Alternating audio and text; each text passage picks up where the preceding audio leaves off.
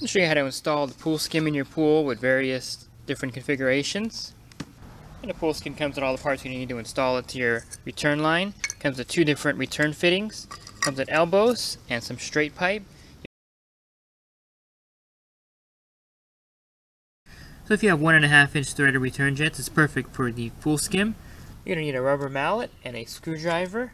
You're gonna use this to kind of tap the thing that's holding the eyeball to get it out. Sometimes it's calcified from being in the water for years. You just take the screwdriver, wedge it here, hit it counterclockwise with the rubber mallet, tap. Your pool might also have one and a half inch return lines, but it may have a fitting on top of the threaded part like this here. Very simple, you just need a pair of channel locks. Now you want to carefully turn it counterclockwise. Just pull it right out like that.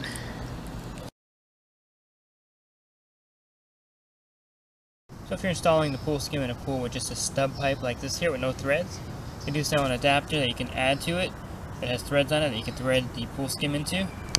So in the case of snub pipes, in order to hook it up, you're going to need the Polaris pipe connector kit. This right here is a 1 inch snub pipe connector. You see it has a 1.5 inch threaded part here.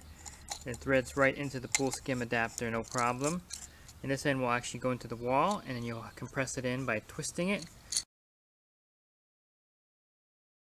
I suggest you put Teflon tape on all the threaded fittings in case you want to remove the PoolSkim later. Easy to get off.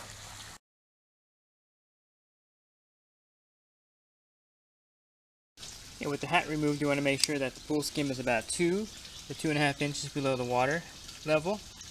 That right there is good. When you install the PoolSkim, turn the elbow so that the bag will be sitting out at an angle like this here from the wall. I think in this case I'm going to put an elbow here. And I'm going to go ahead and insert the pipe like this. And I'll go ahead and put the other standard elbow here like this. In rare occasions, your return jet may be really low in your pool. In that case, you may need a longer piece of pipe. On the manufacturer's website, they have them available and attach it and I'll get it to the pool level. Simply thread in the male adapter where the return jet was. Okay, I'll take the PoolSkim. I'm going to go ahead and stick this elbow here on this adapter. Okay, this is how I had it configured underwater. I had just like this. I'm going to put the screws in there, hold it in place. Okay, so let me attach stainless steel screws here.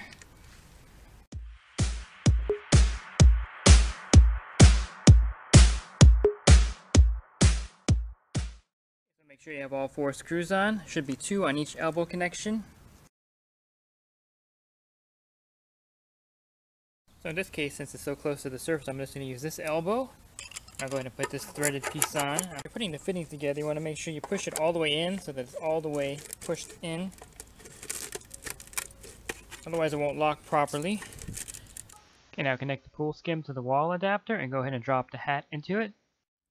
It looks like it's good.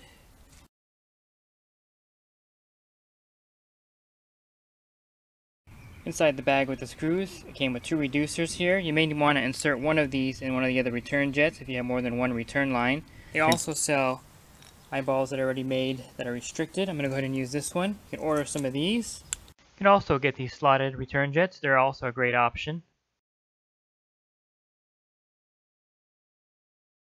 If you have an automatic cleaner in your pool, there's a pin you can actually stick into the PoolSkim and that'll keep the cleaner hose from getting tangled onto it. You want to stick the pin in the hole furthest from the wall, let's go ahead. Okay, so you want to carefully slide the pin through. Put this end on top. Put it back on. This bumper will keep the pool cleaner hose from going around the PoolSkim and getting tangled.